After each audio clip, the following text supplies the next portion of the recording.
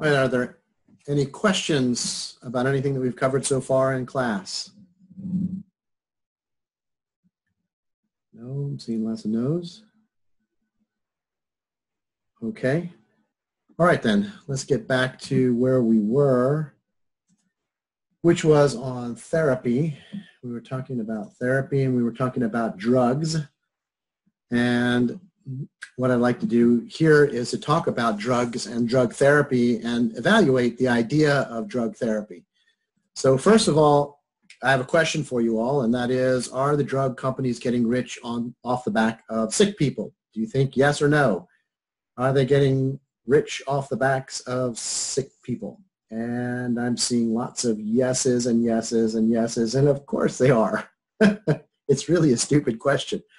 They are drug companies they sell to sick people. That's what their purpose is. So of course they're getting wealthy off the backs of sick people. The question is how wealthy are they getting and are they charging too much is really the question. But yes, that their whole purpose in life is to make products for sick people. That's what they do. So of course they're getting rich off the backs of sick people. But the question is, should they actually be making the amount of money that they do make? But besides that, uh, we know that in depression, for instance, therapy is better than or as good as drugs. Therapy is as good as drugs. And you know all the, we've talked about teaching a man to fish. And if you do therapy, then therapy is conclusive. You learn how to deal with your problem. But if you take drugs, then you have to keep going back, back and back and back and back to get the drugs. So we as psychologists believe therapy is better when therapy can cover the problem.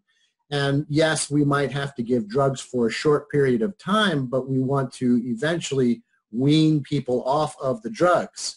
So drug companies are always developing better drugs and attempting to convince doctors to use the new drugs and rather than the generic drugs because the generic drugs don't make them as much money they can't charge as much because a generic drug is made by more people than just that one company. They have the sole proprietorship of that drug for a short period of time because they spent a lot of money developing the drug and they should be able to make their money back from that drug from all the work that they did to develop it so that's um, that's drug companies. So yes, drug companies are getting wealthy off of the backs of sick people. But there's more to it than just that because physicians, your doctors, your psychiatrists and medical doctors can make more money prescribing your drug over your entire lifespan than they can doing therapy for a year. So you, you tell the, the patient, I'm going to give you this drug. And the patient takes the drug. They don't ask about therapy. So the physicians are culpable as well because they can make more money giving the drug and getting the money for you coming back every three months to get your new prescription. But if you do give the patient the option, you can come in twice a week for a year, or I can give you this drug, either or. And what patients will do is give me the drug. I don't want to come in twice a week for for a year. That's I don't want to. That's a waste of my time. So just give me the drug. So it's easier to get the drug, and that's what you want is the drug. And so it's not as simple as blaming the drug culture that we have on drug companies. Instead, it's everybody's fault. It's all of our fault. And the drug that culture that predominates our society, everybody's culpable for it. The, the drug companies, the doctors, and the patients, all of them. It's not a simple answer, in other words. Some of the other biomedicals, we've talked about drugs now. There's three more biomedical technologies I want to talk about, and that is psychosurgery, and that is the prefrontal lobotomy, which we do not do anymore. It was going in through the eye, cutting off the, the frontal lobe and the frontal lobe would die and then the patient would be malleable or um, able to be controlled better. And this is specifically developed because there were people in medical hospitals in the psych wards that were restricted to straitjackets. They could never get out of a straitjacket. They were in a straitjacket for the rest of their lives. because they were extremely dangerous people. But if you cut the frontal lobe off, then they became malleable. So you could put them into the society of all the rest of the patients and they would not harm anybody and they would not harm themselves. So it was really easy to take care of them at that point. So it was a useful technique until, of course, drugs came along and you have specific drugs that shut down the frontal lobe but don't destroy the frontal lobe. And if you take the person off of the frontal lobe, uh, off of those drugs, their frontal lobe will come back online again. So it isn't a permanent issue giving the person drugs. The main culprit for prefrontal lobotomies was finally stripped of his license because he was doing prefrontal lobotomies on people over and over again because he didn't get it right. And it and he killed people.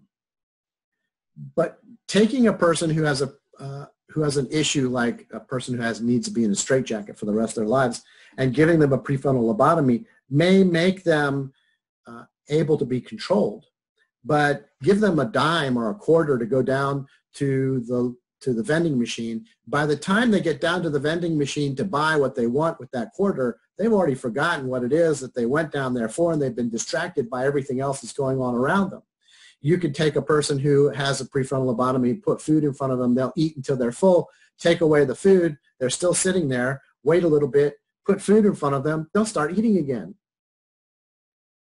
They, they've lost a connection between their knowledge of what's going on in the world around them.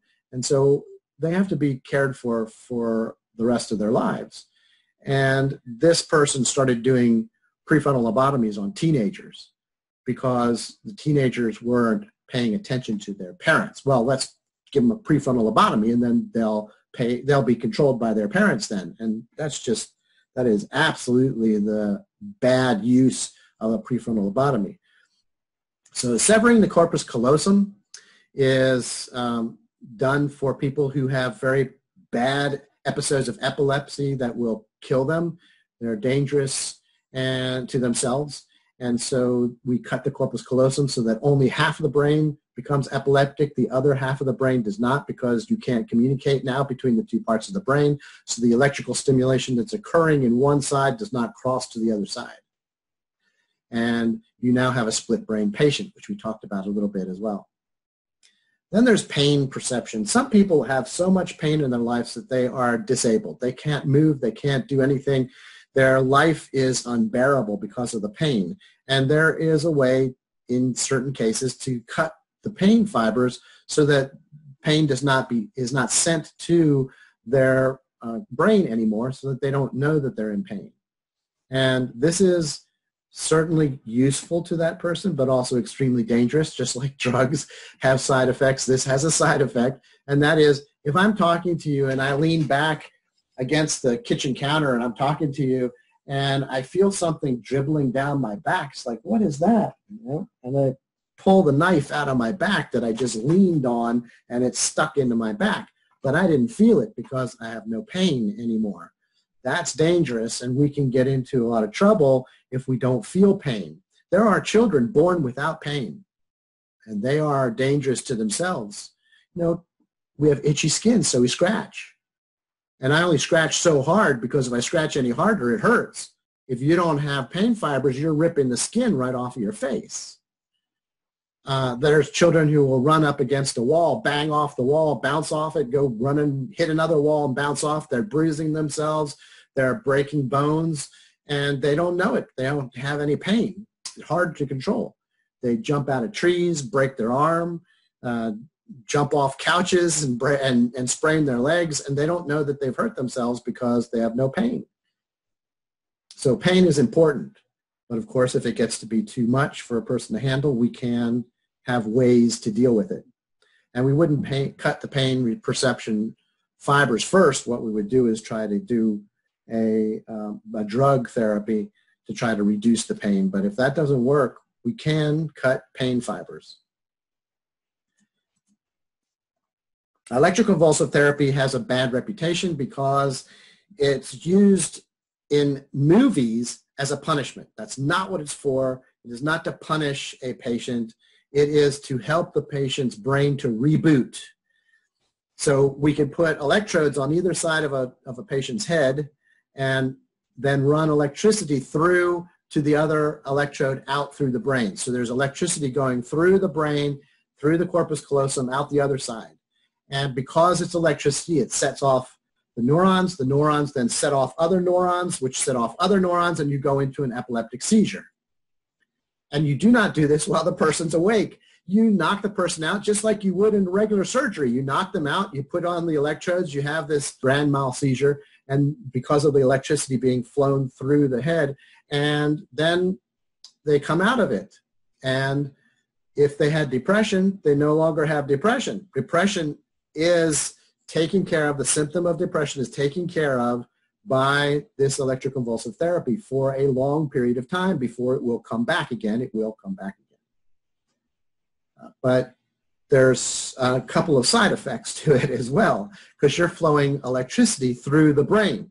But in what we see in movies is the person did something bad, so they grab them, they throw them into the electroconvulsive uh, therapy room. They tie them down. They're awake the whole time while they're being connected up and they have this horrible sensation. We put the person under anesthesia first and then we have the electrical electroconvulsive and they wake up from that process not even knowing that it happened to them, feeling much better, except for the side effects. The left side of the brain is for speech, both production of speech and understanding speech and you're flowing electricity through it. And so when they come out of their electroconvulsive therapy, for a while afterwards, they cannot speak very well and they don't understand speech very well.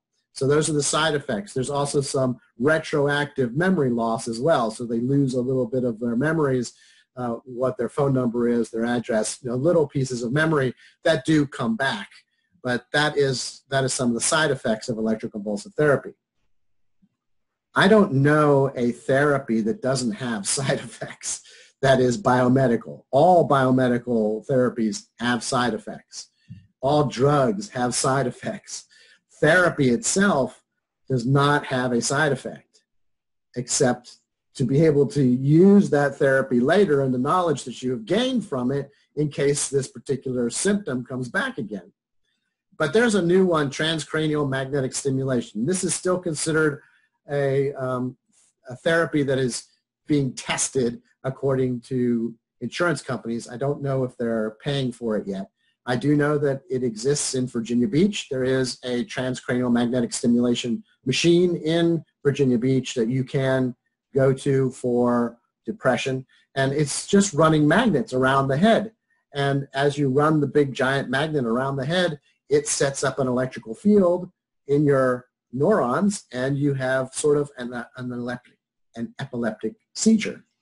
But it doesn't produce the same type of side effects that the electroconvulsive therapy does. And it turns out that it's better for bipolar as well as depression and schizophrenia. It helps. So I'm thinking in the near future that we won't even be talking about electroconvulsive therapy as a technique used anymore. It'll be transcranial magnetic stimulation instead. Does that make sense? Y'all getting that? Okay, seeing lots of yeses. Well, that's a very, that's the different types of therapy. And therapy is performed in a situation with a therapist and the client or a group therapy. Um, but when you're talking about mental health issues that are really severe and placing a person into a mental ward, in the old days, those mental wards in the very beginning, those mental wards were prisons. That's basically what it was. You looked at this person as a useless, worthless human being, and you put them in a prison cell inside this giant um, asylum. And the people who spoke for those, the advocates for mental health patients, said get them out of the institutions, deinstitutionalize them, which I understand that because they shouldn't be they shouldn't be cared for, if that's what you call it, cared for in that way. They should be given as good a life as they can and cared for in the best possible way. And certainly a prison is not the place for them to be. So there is a new type of hospital we call a therapeutic community. a therapeutic community, when you're inside of a hospital, there are doctors wearing white, you know, with the stethoscopes around their necks and the nurses are wearing their uniforms and it smells very antiseptic and you're hearing all the noises that sound like hospital noises. And it you are aware very aware that you are sick and you have an instant reminder constantly that you are in a hospital and you are sick so it's very difficult to get better if you're consist- consistently reminded that you're sick. So a therapeutic community takes away the hospital situation. The doctors and nurses are all dressed like normal people. Your room is set up with your with your um, pictures of your family, the typical things that you would have in your room at home. So it's like you're at home instead of in a in a hospital setting. And it tries to make the institutional environment more supportive and humane for the patients. It makes it home instead of an antiseptic hospital. And this seems to work very well. And this is really what should have happened. Instead of closing down Dorothea Dix and some of the other asylums we had, we should have built therapeutic communities, moved the patients into those communities and destroyed the buildings that were made to be more like prisons and built new therapeutic communities. But instead, we just threw them out onto the street into what we called community mental health centers. So the community mental health center movement, the CMHCs, were an effort to deinstitutionalize mental health patients and to provide therapy from outpatient clinics in their home area, wherever they were born, wherever their families were, we were sending them back to their counties and their communities where they were taken from and placed into the asylums and let them live in their communities. The problem with that was that the state of North Carolina did not fund these very well, so they were understaffed and underfunded, and it didn't work out very well. I worked I worked in the community mental health center here in this area called Albemarle Mental Health Center for a number of years. Albemarle AMHC was the largest. It covered seven counties. We had like 10 or 12 different facilities where people could be seen. But the state got rid of them and instead put in what we call now local management entities, which are given all the money from the state. The local management entity has the money, and then the, they get to determine what private person you're going to go to see for your particular issue, and then they will pay that private individual from the state funds that they get. Again, not enough money, and we don't have enough private people to handle it. They need the larger community mental health centers. So the CMHCs were usually underfunded and understaffed, and patients ended up back in the hospitals within a few years on the streets. Lots of those who are homeless on the street are mental health patients. And they end up back in hospitals, if there is a hospital, or they end up in jail or prison. And in jail and prison, they don't get any kind of help at all for their mental health. At least in the asylums, they were getting some help for it, some help for it. So it's not working out very well. Their families that um, had them institutionalized don't want them home. So they're living on the streets instead. People that interact with them on the streets don't like them. And is their life on the street any better than the life they would have gotten in a hospital, especially in one of the therapeutic community hospitals? It appears that the expense is smaller in the CMHCs, but that appearance doesn't evaluate the conditions under which these people are forced to live they don't get proper food, they don't get proper shelter, they don't get proper sanitation, and a lot of times they didn't get the proper care that they needed either. If they're in an institution, they're always being seen by the nurses and the caretakers of that institution. Out on the street, they don't necessarily go to their therapy when they're supposed to and get their drugs or their therapies when they're supposed to. And that's the end of the therapy section. Are there any questions on therapy? Seeing a lot of no's. Okay, then let us go to social psychology, our last of, of our units, social psychology. Remember, social psychology studies groups of people. and so do sociologists. They study groups of people. But sociologists are looking at the group of people as a group. And in social psychology, we're looking at the group of people to determine how one person is affected by the group dynamics. So it's a very different approach to how we approach groups. So how we define social psychology, well, Gordon Allport, he, he defined it as social psychology is the study of the thoughts, feelings, and behaviors of individuals as they are shaped by the actual, imagined, or implied presence of other people. You go to a convenience store and there's a little camera with a little light that's blinking. And you change your behavior because you know that you're being videotaped. Although in most convenience stores, it's a little plastic box that looks like a camera with a little beeping, blinking light on it, and there's nothing else. There's no electronics in it whatsoever. You don't need the electronics. All you need is the implied presence that there are other people watching you and people change their behavior. So you need to put up a whole bunch of, of electronics to record all the activity. And in many cases, they don't. Many books describe social psychology as the branch of psychology that studies the effects of social variables and cognition on individuals' behavior and social interactions. Very similar definition. So what we will be studying in this particular chapter is behavior that's related to society, group decision making, obedience, conformity, authority, bystander effect, interpersonal attraction, which is the one that most people enjoy, that one, what attracts you to another person, attitudes and attitude changes like prejudice and stereotyping and aggression, and we'll finally end it on altruism. Altruism is uh, a positive aspect of social psychology that we can study. So first of all, social psychologists believe that even when the situation is a familiar one, such as a college classroom, which you're very familiar with, or your home, as you're sitting there right now, the primary determinant of an individual's behavior is the social, social situation in which the behavior occurs. Your house, the school, a pizza parlor, a movie theater, wherever you happen to be, that situation can be so powerful that it sometimes dominates our personality and overrides our past history of learning values and beliefs. In other words, we do things that would we would never do if we weren't in that particular situation. The situation can be very powerful. Social roles, which we will talk about, competition, or the mere presence of others can profoundly influence how we behave.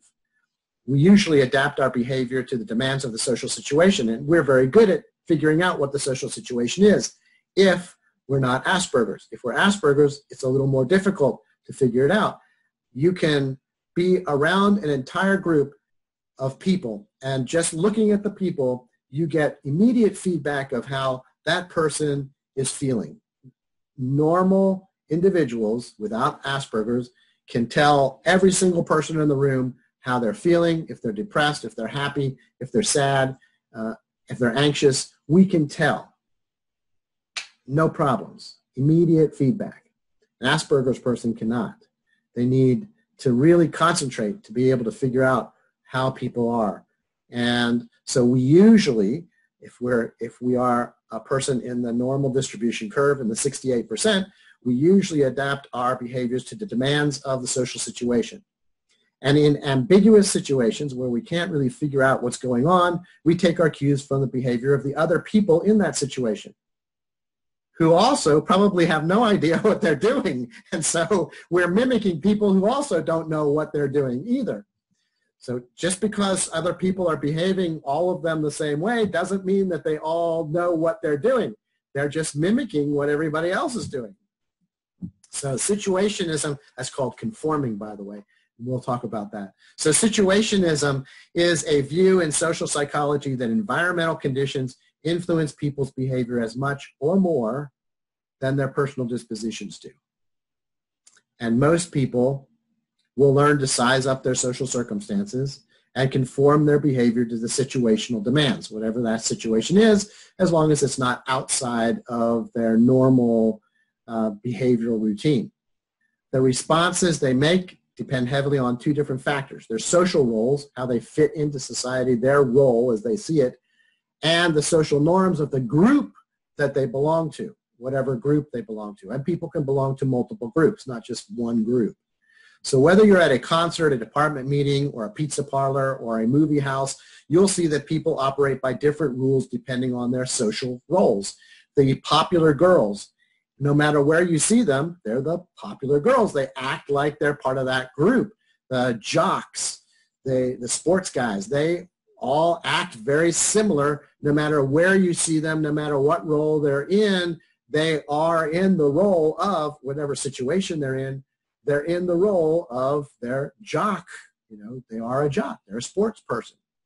So a social role is one of several uh, socially defined patterns of behavior that are expected of a person in a given setting or group. The roles that you assume may result from your interests. So you may find yourself with other fishermen or hunters or at church or at a bar, depending on your interests or your abilities, sports people and specific abilities. Right? or your goals. You may find yourself in the social role of the person who is going to be a nurse or a technician of some kind or um, vocational or going to university. And you find those people who are have the same goals and you hang around them. And that defines your role in life.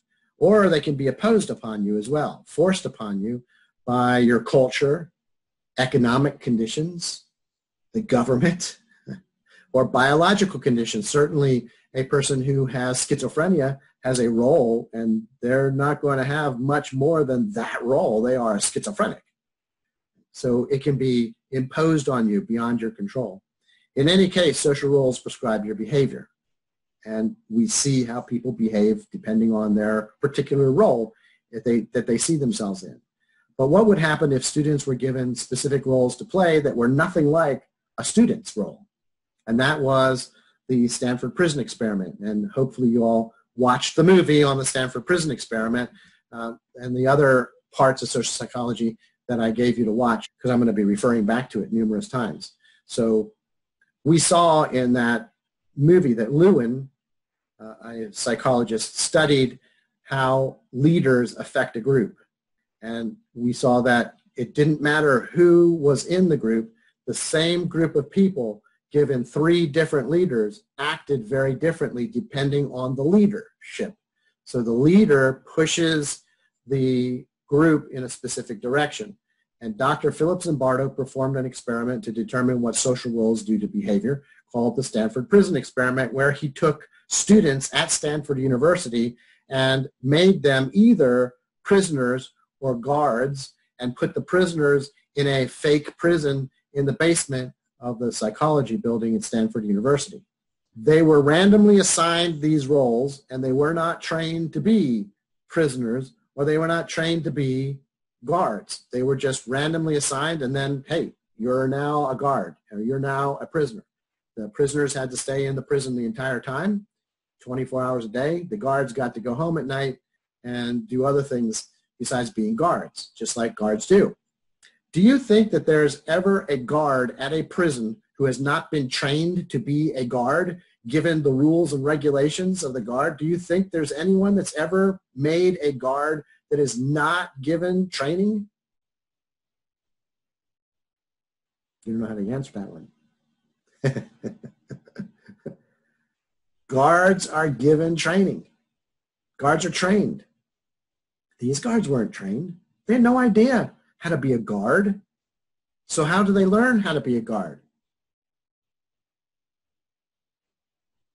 Through movies, scripts.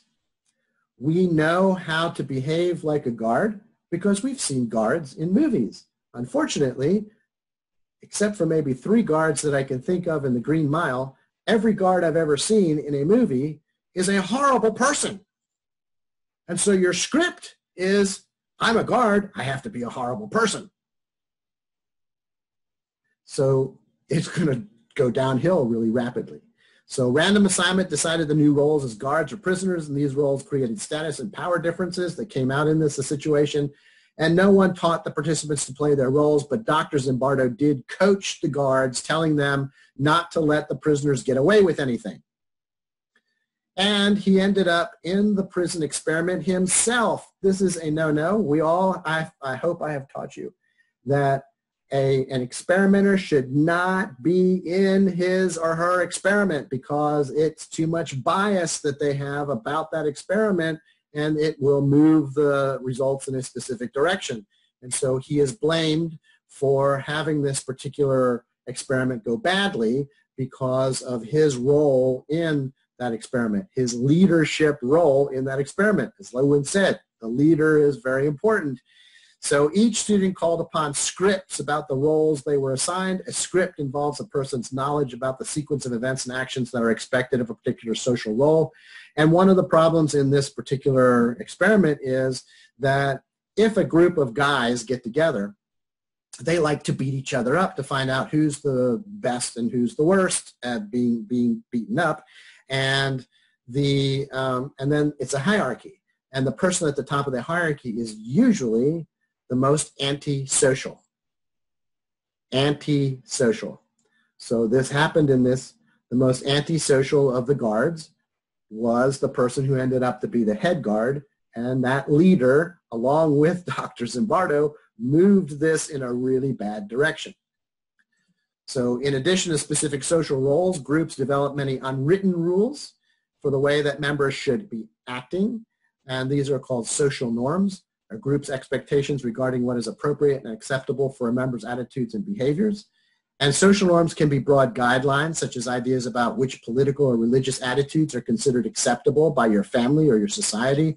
Social norms can also be quite specific, embodying standards of conduct, such as you're quiet in a library, be quiet in a library, or shine your shoes before an interview, make yourself as good looking as possible before an interview. Right? In the Stanford prison experiment, the guards quickly developed norms for abusive behavior. Now this was supposed to be a two-week experiment, two-week experiment, and it lasted five days. At the end of five days, Philip Zimbardo's fiance, who was not part of the experiment but also had her PhD already in psychology, came back from a conference and started watching some of the videos because he was so proud. Look at what they're doing. And he showed her the videos and she was like gasped. She was like, you have to stop this. This is going, how come you can't see this? This is horrible. Stop this before somebody gets hurt. One had already been released because they had a nervous breakdown. So it was stopped after six days instead of going two weeks. And when he wrote it up, he said, no one should ever do this experiment again. They did not believe that in England. In England, they thought this is his fault. His, this is his fault for being a part of the experiment. He should have stepped back away from the experiment. Uh, and so they decided to do the experiment. And they weren't going to go two weeks. They were going to go two months, two months. And they had a big building built. And they had, so they had a prison. And they put their people in the prison. And they had a camera in every single room. All every angle of the rooms were, were recorded so that what they were planning on doing was taking that two months of video and making five years worth of a, a reality TV show called The Experiment. It lasted eight days. And again, the reason it broke down was because the most antisocial person became the head of the guards and moved everything in a very antisocial direction. And this is the problem with leadership you need to have leaders who are socially acceptable, pro-social leaders, not anti-social leaders. And we'll talk about pro-social uh, behaviors a little bit later, ne- not today. But that's, um, that's the, and that's, if you ever get a chance to read the English one, it's a really great experiment because there are some really weird things that happened in that experiment for the, for the eight days that they had it. Uh, and it's a pretty interesting read. So social norms, when a person joins a group, such as a work group or a group of friends, or going to a different school. I was I went to lots of different schools, and I have a lot of Coast Guard families here, and Coast Guard families move around just like my family did. My family was Navy, so I was in a different school every three years at least, sometimes more than that. but in the first grade, right? I went to five different first grades. Being in a new building, in a new facility, in a new city, you have to make new friends. And so you learn to make new friends or you fail one or the other. But when you're doing that, you figure out how to fit into the group. What is the group's social norms? And what happens if somebody breaks the social norm? So adjustments to a group typically involve discovering those social norms. Individuals experience this adjustment in two different ways. By, unis, by noticing conformity, the uniformities of the particular group, and the behaviors by observing the negative consequences when someone violates a social norm. So if you're a popular girl in one school and then you move to another school, then you want to be a part of the popular girl group again. But this popular girl group, unlike the one you had before, every single one of them, you notice the conformity is they all own Gucci handbags. Very expensive. I can't afford a Gucci handbag. My mom and dad can't afford a Gucci handbag. How? So you're watching to see what happens if somebody doesn't have the Gucci handbag one day and oh, they get teased about it. For, well, heck, I can handle that, right? I can do the time. If I can do the time, I'll do the crime. I will join this group and I won't buy a Gucci handbag and I'll let them tease me. Big deal. There used to be a show, Baretta, on television, and Sammy Davis Jr. sung the song for Baretta, and that was, don't do the crime if you can't do the time. Don't do it. Don't do it. Don't do the crime if you can't do the time. Don't do it. Well, there's a problem with that, of course, as I've said it in other. That means if you can do the time, go ahead and do the crime. And no, you should not be doing any criminal behavior. This is a little different, right? This is not criminal behavior. But you should not do criminal behavior just because you figure you can, oh, I'll do a year in prison if I do this and get caught. But if I don't get caught, hey, I'm free and clear. No, just don't do the crime. So this is a this of course is not criminal behavior. This is just the negative consequences that you see based on what happens when somebody doesn't conform to the group. Well conformity is a big issue. We can see the effects of social pressure in people's moods clothing styles leisure activities. I had a boss at one of my jobs who golfed. He loved to golf and everybody who went golfing with him ended up being the people that got raises and promotions and i'm I've golfed. I know how to golf. My grandfather was a pro, so he taught me how to golf. But it's not a big, I don't really like golfing. I'm not really a sports guy anyway. I liked running. That was what I liked to do. I was a runner, um, long distance running. And so I, I, I started golfing. Why? Because I'm falling in line with the other people uh, and I'm mimicking this particular person in charge. It's called the chameleon effect. Right? We tend to imi- imitate other people, our clothing styles, our moods, leisure activities. And this chameleon effect is a conformity. We conform. But can social influence be strong enough to make people follow a social norm that's clearly and objectively wrong? Now, this boss also said we had to wear ties. As, as the managers, we had to wear shirt and tie. I hate ties. I despise ties. I really do not like ties. You will very rarely see me in a tie. And I, I went along. I, I put my tie on for a while. And then I got really annoyed with it. And so I went and bought a bolo tie. What is a bolo tie? From Texas. A bolo is two strings of rawhide basically with something holding them together. It is considered a tie so he did not mean that. It's not the kind of tie he's talking about, right? But I have a passive aggressive nature, and so I didn't like him anymore, and so I put on this bolo. Now, if you want me to wear a real tie, according to your definition, you have to rewrite the manual to describe what a tie is. so, yeah, I sort of mimicked him, but um, then passive aggressively I was against him. But that's not, you know, a big thing to wear a tie. But what if it's something that is obviously wrong? Now, I've told my bosses all my life, and maybe this is why I get hired, because I tell them at the interview process, uh, hey, I will do anything that you want me to do, as long as it's moral and ethical and not breaks my morals and ethics, but I will tell you what I think about it. I'll do it, but I'll tell you what I think it is, stupid or otherwise, right? And I had one boss that said, well, as long as you tell me in a professional manner, that's fine. There, that's great. I'll know where you stand, but you'll do what I want you to do. As long as it doesn't break my ethics or morals, then I'll quit. So could the power of the situation prove stronger than the evidence of our own eyes? And this is the conformity study by Asch. Solomon Asch set out to answer just such a question with a group rigged to make students think that their eyes were deceiving them.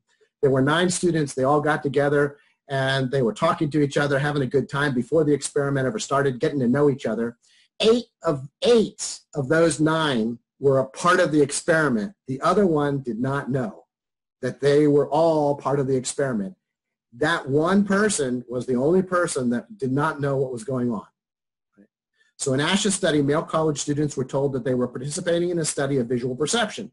They were shown cards with three lines of differing lengths and asked to indicate which of the three lines was the same length as the separate standard line. And the problem was very simple. The lines were different enough so that mistakes were rare in subjects responding alone, but in a group of seven to nine students, where the other ones were coached what to say, um, give the wrong answers, everything changed. So they were shown like this down in the right-hand corner, these three lines, and then they, they were shown another line and asked which line does it match. And obviously this one matches the middle line. So then, on the first three trials, they were all told the same thing. They were all told, tell the truth. So all nine of them tell the truth. And the last one is always, the one that's in the experiment always the last one. So it goes through this whole list of everybody saying what the right answer is. And he goes, yeah, yeah like, this is easy, right? This is so simple, right?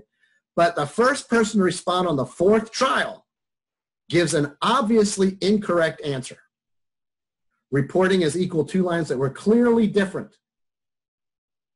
So did the next person and so on until all members of the group, but the remaining one, the real subject, had unanimously agreed on the wrong answer. And then the subject had to decide whether to go along with everybody else's view or remain independent, standing by the evidence of their own eyes and saying, no, that's wrong. And this group pressure was imposed on 12 of the 18 trials, the first three, and then three more during the time so that they could continue the cohesiveness. Oh yeah, well, we all agreed on this one. That's great. Okay. And then the next one comes along like, what? And you could see it in the guy's face in that movie if you watch the movie huh? He's like, I don't understand. This is not right. So what did the other people do? As you can expect, the subject showed signs of disbelief and discomfort when faced with a majority who saw the world so differently from the way that they did. But the group pressure usually prevailed. Three quarters of the subjects conformed to the false judgment of the group, 70, 75%, one or more times, while only one-fourth remained completely independent on trials. This is an important number. One Fourth, a quarter of a percent of the people remained independent, said, I don't care what you guys say. This is what it is, and I'm sticking with what I say. But there's another, there's another statistic that's really bad. So in various related studies, between 50 and 80% of the subjects conformed with the majority's false estimates at least once. But a third, a 33% of subjects yielded to the majority's wrong judgments on half or more of the critical trials. 33% were so weak-minded that they would follow for more than 50% of the population of the group of time trials. They would just conform with what the other people said. And social psychologists now call this the Asch effect, the influence of a group majority on the judgment of an individual. And the Asch effect has become the classic illustration of conformity, the tendency for people to adopt the behavior and opinions presented by other group members. Again, the leader is a really important aspect of this because if the leader is asocial, 33% of the population will accept their asocial behavior 50% or more. Now, by the way, when I said it was this one, it was not this one. It is this one. Whoops. It is the end one. How many of you, when I said it's the middle one, went, wait, no, that's not right. It's got to be the other one. But you didn't say anything. I even paused for a second to see if anybody would type in anything. You conformed. now, one of the reasons you conformed is because I'm the person in charge and you don't want to say anything about, so that's one of the reasons people conform is because of the people that are around them at the time. So in the further experiments, Asch identified three factors that influence whether a person will yield to a group pressure. The size of the majority, the presence of a partner who dissents from the majority, and the size of the discrepancy between the correct answer and the majority's position. And he found that subjects tended to conform with a unanimous majority of only three people. It only takes three people before somebody will say, okay, I'll go along with the majority, but not two or not one other person. Numerous studies have revealed additional factors that influence conformity, and these experiments have included both females and males.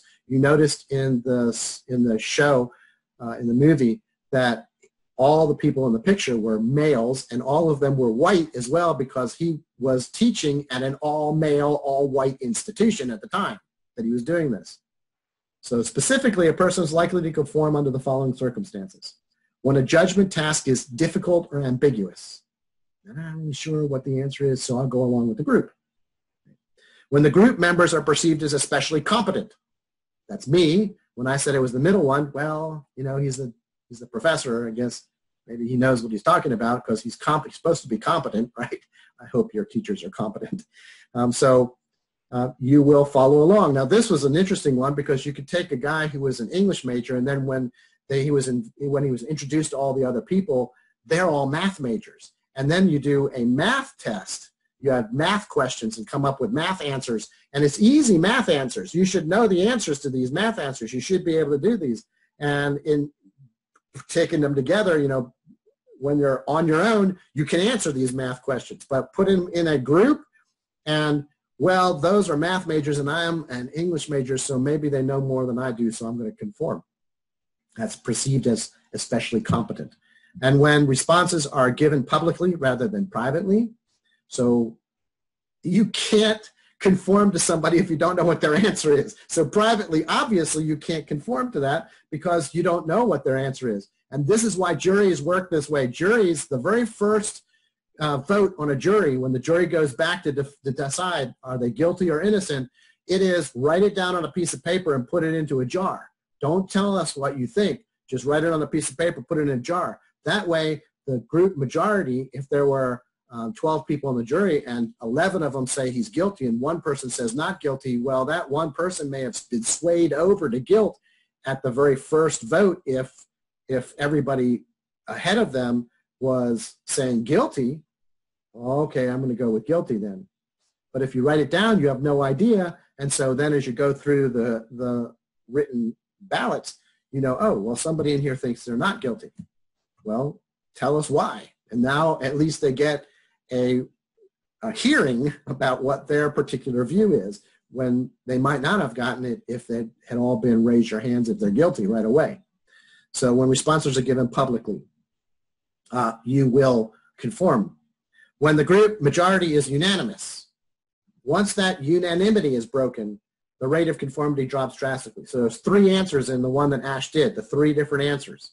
And this is the answer. This is the answer that is, is everybody is saying, right? But then one person picks this answer, and you think it's this answer. You're not going to say it's this answer but the unanimity has been broken. And so you're going to say what your answer is rather than go along with the group because the group's conformity has already been broken. Right? So once that unanimity is broken, a rate of conformity drops dramatically. So this is what happens. And, the, and we use this uh, to our advantage in juries. But the dis, when we look at this we see the issue being decided is complex or confusing, then you're more likely to conform. Others in the group seem to know what they're talking about. You're more likely to conform. You must vote by raising your hand instead of casting an anonymous ballot. Well, you're more likely to conform because you can't, in an anonymous ballot, you can't conform because you don't know what anybody else is doing. And the entire group, without exception, votes in a specific way. You're more likely to conform. That's conformity. But we also conform by being obedient. we're supposed to be obedient to our bosses. We're supposed to be obedient to our parents. So we conform by being obedient too. And we're supposed to be obedient to society. Society has certain rules. When somebody is having a problem, we're supposed to help them in some way, shape, or form. Right? So Stanley Milgram uh, performed an experiment that showed that a willingness to follow brutal and even potentially lethal orders is not confined to a few extreme personalities or deranged individuals. Now, you saw this in the movie also, the person who's getting shocked, right? So this finding, along with certain ethical issues that the experiment raises, places Milgram's work and Philip Zimbardo's work at the center of one of the biggest controversies in psychology, how to deal with your subjects. And because of these experiments, some of these experiments, we now have institutional review boards that say, no, you cannot do this experiment the way you've written it. You are not treating your subjects well. You need to change it so that you change, so you treat your subjects well. Unfortunately, and there are people that do this, institutional review board says you cannot do this experiment the way it's written here in the United States. So they take their experiment and they go to China, which doesn't have the same rules, and do their experiment in China. That's just, that is, that's wrong. That's just wrong. Um, our morals and ethics are for our society, yes, and it's different than other societies, but you shouldn't be um, bypassing the rules of your own society. Go to China and live there then. You know? So the volunteers thought they were participating in a scientific study of memory and learning. Again, the volunteer was one person. There were two people in the experiment, the person who got shocked and the person who did the shocking. When they came together in the room, they said hello to each other. They got a little camaraderie going on. And then the guy in the white coat comes along and says, okay, okay, let's get started. Right? Every single time, the guy that is supposed to do the shocking is the one who's picked out of a hat to do the shocking. And every single time, this actor, who the guy doesn't know is an actor and part of the group, is the guy that gets shocked. He never gets shocked. He's an actor. He gets hooked up to the electrodes and he gets tied down to an electric chair so he can't move. And the guy that ties him down is the one who's going to do the shocking. So the guy knows this guy is tied down to a chair and he can't get out of the chair. So, spe- so specifically, the experimenter told him the purpose of the experiment was to discover how learning and memory could be improved through the proper balance of reward and punishment. And cast in the role of the teacher is a volunteer subject that was instructed to punish memory errors made by another person that other person was the learner, and he was actually a part of the experiment. He was an actor who would fake the fact that he was getting shocked. So to administer punishment, the teacher was told to throw a switch that would deliver an electric shock to the learner each time the learner made an error. And the learner, the guy that's the actor, is told never give the right answer. Always give a wrong answer. So he's always going to get the shock. Moreover, the teacher was told to increase the level of shock by a fixed amount for every new error. And overseeing this whole procedure was the white-coated experimenter. This authority figure presented the rules, arranged for the assignment of the roles through a rigged lot because it was always, you know, the actor was always the person who was going to get shocked, and ordered the teachers to do their job whenever they hesitated or dissented. And the real question driving the experiment was, how far would subjects go before they defied the authority figure and refused to obey, refused to shock the person? Now, when they were told, oh, you're going to do the shocking and you're going to get the shock, you're the, you're the learner, you're the one that's going to get the shocking. And the old man, the actor, he would always scratch his head a little bit and go, well, I have a heart condition, but okay, I'll do it. So not only are you shocking this guy, you're shocking a guy who has a heart condition, right, on top of that. Right, so how far would you go? And they were, and Milgram asked people, he said, how, how far do you think people will go? He asked psychologists, how far do you think people will go? He said, well, I think only 2% will go to 450 volts because 450 volts is dangerous. 100, your, your electric socket, socket on the wall is 120 volts, not 450. And they're going up to 450 volts. That will kill you on the wall. 450 volts will kill you. Right now, it's not really the voltage; it's the current that kills you. But but most people don't know that. 450 volts, oh my God. And it's labeled dangerous, XXX, 450 volts. So they know it's dangerous. They have no choice. They can't say I didn't know. Right? And they said 2% because 2% of the population are sadists. They like to, to hurt people and or psychotics. They have, they have a psychosis of some kind. They will actually hurt you. So we have the um, antisocial people who will hurt people, about 2% of the population. No, they were way off wrong. The dependent variable was the subject's response measured by the shock level the subject was willing to deliver. The level of shock could be seen clearly on the shock generator and the feature of 30 switches that apparently could deliver shocks 15 volt steps from 15 to 450 volts. And the part of the learner was played by the pleasant, mild-mannered man, about 50 years old. He mentioned having a heart condition, but said he was willing to go along with the procedure. At 75 volts, the script called for this this learner, this uh, actor, to moan and grunt. At 150 volts, he was supposed to demand to be released from the experiment. At 180 volts, he would cry out that he couldn't stand the pain any longer. They did not expect many people to go past 180 volts but they decided to set down a, a, pattern what would happen if they did. The plan then called for the learners' protest to increase with increasing shock levels. For any subject still delivering punishment at 300 volt level, the learner would shout that he could no longer take part in the experiment and must be freed. He would also whimper about his heart condition and refuse to reply any further. In other words, he stopped saying anything and replying. And a non-reply is considered a wrong reply, so you have to get shocked. So as you might imagine, the situation is very stressful, not for the guy that's acting, but for the guy giving the shocks. And they would protest and deliver, even ever, even as they delivered it, they would protest about delivering these. But the guy in the experimental white coat would say, you must continue asking the teacher to please continue. You were paid $50 to be a part of this, so you need to continue. The experiment ended only when the shock level reached 450 volts or the person refused to flip, flip the switch any longer. I'm not going to do this. This guy needs help. I'm not, I'm not going to do this anymore. At that point, then it was over.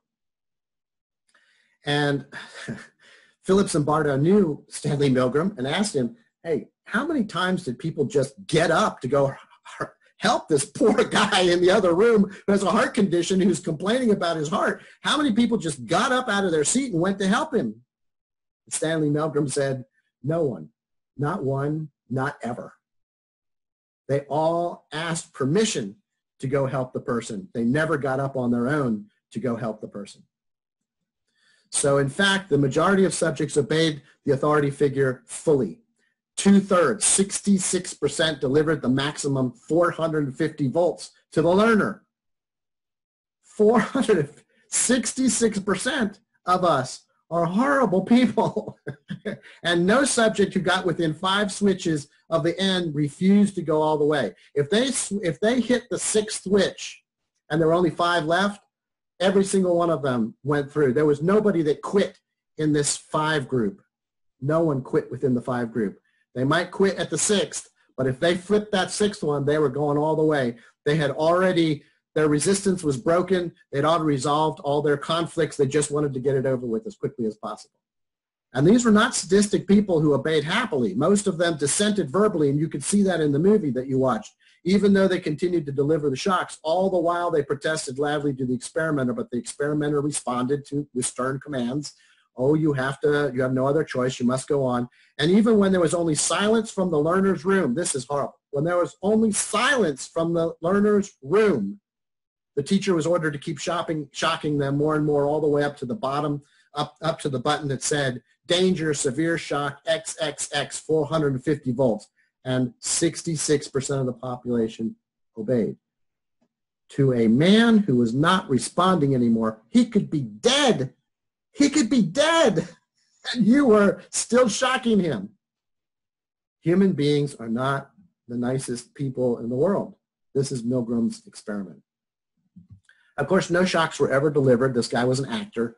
And the victim of the shocks, the actor, um, he talked to the teacher afterwards. They came out, you know, and said, I'm fine. I did not get shocked. You're okay. This is called debriefing a person. Once a person's, to get a person into an experiment, they have to have informed consent. You have to tell them as much about the experiment as you can without giving it away because that could ruin the results. And then afterwards, you debrief them. You tell them, this is what actually happened. This is what we were actually looking for so that they know what they did. And the controversy about Milgram's research concerns the ethics of inflicting mental harm, not physical harm, because the other guy didn't get any shocks. It's the mental harm on the guys throwing the shocks because they were freaking out. They were freaking out that they were giving all these shocks to this person. So we now have independent review boards which will review proposals for experiments today and determine if the experiment should proceed as written or should be modified to fit the ethical and moral standards of society. Do you understand Milgram's experiment? A lot of people don't recognize you did yes, yes, yes, yes. I'm seeing less. A lot of people don't recognize the fact that no one ever got shocked in that. That's not the point of the, the point was how far would they go if they thought they were shocking somebody. So why do we obey authority? Well, in all, Milgram tested more than a thousand subjects, including women. And from the many variations Milgram conducted in his original study, we conclude the subjects tended to be obedient under the following conditions. One, when a peer modeled the obedience by complying with the authority figure's commands, then subjects are more likely to obey all the way. In other words, you're coming into this experiment and um, you're and you're early. Oh, you're early. Come here. Here's a guy that's doing it right now. You know, he's we can watch through this this uh, mirrored glass, right? He doesn't know we're watching, but you can see. Oh, you know him? Oh, really? Oh, oh, he's in your in your department. Oh, really? Okay. So, and you watch that person go to 450 volts. You're more likely to go to 450 volts because it's a peer that modeled the behavior first.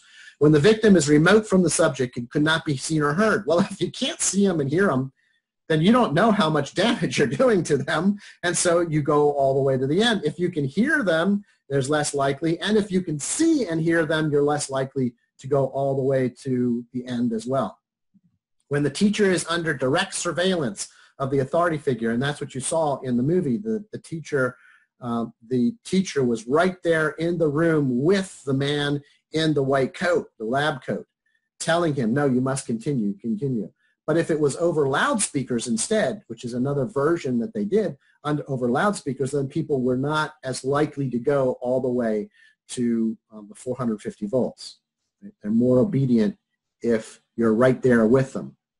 Uh, when a subject acted as an intermediary bystander, in other words, you come into the experiment and the guy says, this is our shock box, but it's very delicate and this person has been trained how to use it, so he's going to throw the switches, not you. You just tell him to throw the switch and he'll throw the switch. So you're not throwing the switch.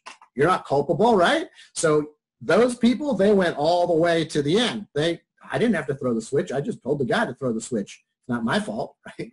If, if the guy dies. So they're much more obedient if they don't have to throw the switch. And the military knows this. The military knows that you take a person that is has more authority and you tell that person to get somebody else to throw a switch, and that's what's going to happen. Right? So when the authority figure has higher relative status than the subject, as when the subject was a student and the experimenter was billed as a professor or doctor, they're more obedient. But if the person, if the person who is throwing the switches, the teacher, is somebody who owns a business in the in the town, and they come in to do this experiment, and the person in the lab coat is a professor, PhD in psychology, um, they're more likely to conform. But if the person coming in is a owner of a business and the man in the white coat is just a student getting their bachelor's degree. Hi, I'm doing this. I got my bachelor's degree, and this is the experiment I have to do to get my bachelor's degree. They're less likely because they have more status than the student does. They already have their bachelor's degree. They're already working out in the real world. They already have a business of their own. So they have more relative status than the student. And they're less likely to conform at that point. But this is uh, this is the military. This is what the military does. The general gets a lieutenant to find a sergeant to, to throw the switch. and the, the lieutenant's going to do it because the general told him to do it. And the lieutenant's going to do it because he doesn't get to have to throw the switch. He's going to get somebody else to throw the switch. And again, he has more authority over the sergeant. He's a higher authority figure than the sergeant does. So it, it works. Unfortunately, 66% of us so personality tests administered to the subjects did not reveal any traits that differentiated those who obeyed from those who refused and did not identify any psychological disturbances or abnormalities in the obedient punishers, the 66%. These findings enable us to rule out personality as a variant in obedient behavior. And what about gender? Well, women did just as badly as men did. 66% uh, women as well were just as obedient as men. And obedience is not simply defined by following an authority figure. As I said, society has rules for us as well, and sometimes we don't follow those societal rules either. Our obedience to society fails us, and this is the bystander effect. And uh, some of you may already know the story of Kitty Genovese. Any of you know, have heard of Kitty Genovese in other classes? Uh, they like to talk about it in English class sometimes. So some of you have heard of Kitty Genovese. So this is a true story. This is actual happened. And uh, Kitty Genovese was attacked, stabbed, raped, and killed. So at approximately 3.20 a.m. on the morning of March 13th, 1964, 20-year-old Mrs. Catherine Kitty Genovese was returning to her home in a nice middle-class area of Queens, New York from her job as a manager of a bar. She's a white collar worker, not a blue collar worker. She's making some good money. She has some power. She's working, she's living in a really nice area of New York. And she parks her red Fiat in a nearby parking lot, turns off the lights and starts to walk toward her second floor apartment. And uh, a man grabs her and stabs her. She screams. Lights go on in the apartment buildings nearby and she yells, oh my God, he stabbed me, please help me. And windows open up in the apartment buildings and a man's voice shouts out, let that girl alone. And the attacker looks up and shrugs and walks off down the street. And Mrs. Genevieve struggles to get to her feet. Lights go off in the apartment buildings and the attacker comes back and he finds her in the hallway of her, in the, in the foyer of her building there's um, a, a, room here, an apartment here, another apartment, another apartment, and steps that go up. So there's four apartments and then steps to go up to the second floor. She's on the first floor. He attacks her again. She screams again. One of the doors opens up and then closes. The only reason we know that is because the guy, when he was asked by police officers, what did you hear or do? And he tells them, I saw it. I saw the guy. I know who it is and closed the door back up again. So when um, the first person calls, it's 30 minutes after the first attack. 30 minutes, and the police get there within two minutes. If they had called immediately, this is our obedience to society. If they had called immediately, she would have been okay. Right? So Mrs. Genovese was already dead when they arrived. The only person to have called was a neighbor of Mrs. Genovese that revealed that he had phoned only after much thought and an earlier phone call to a friend. He called a friend first to find out what he wanted, what he should do. He said, I didn't want to get involved. Later, it was learned that there were 37 other witnesses to the stabbing and stalking that occurred over a period of a half an hour. The attacker was later arrested and sent to prison, and he died in prison of old age. He, he was very lucky to have died of old age. Any of you recognize the name Genovese? Do any of you recognize the no? The term the, the no? Nobody knows Genovese. In my day, you knew Genovese quite well, but I lived in Philadelphia. Philadelphia, New York, New Jersey, the Genovese mafia family, well known. and she was the niece of one of the Dons. He was a dead man walking. He was lucky to have died of old age. So as citizens, we know what is expected of us. These people knew they should have helped. Why did none of these 37 witnesses call police earlier when it would have helped? And they were just lambasted in the news, in the radio, television, um, the newspapers. They just tore these people up for not having done what they were supposed to do. And that's called the fundamental attribution error, and we'll talk about that later in, this, uh, in these lectures. But the bystander problem has been studied by psychologists as well. So in studies presenting subjects with contrived emergency situations, researchers have found that the best predictor of bystander intervention was the situational variable of group size. The likelihood of intervention decreases as the group size increases because each person assumes that others will help. If there are only two people watching something, then each one of them has a, duty, 50% duty to call 911.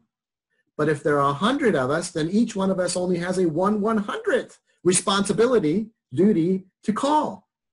And there's a way to break this too. Now you know this now, so if you ever come across a situation, don't get hooked up by the bystander. Call call. But if you don't have a phone, point to somebody that does as loud as you can so everybody hears you. You call 911 and it'll pull all that back down. His is the responsibility now to call 911 instead of talking to his friend while watching what's going on.